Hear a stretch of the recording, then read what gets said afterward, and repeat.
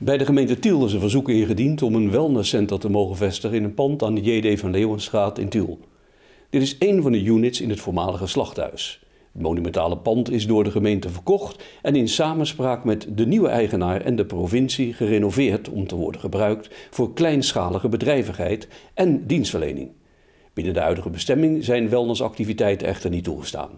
Het college van Tiel heeft nu besloten toestemming te verlenen aan, kleinschalige, aan het kleinschalige wellnesscenter. Dit op basis van de kruimelgevallenregeling.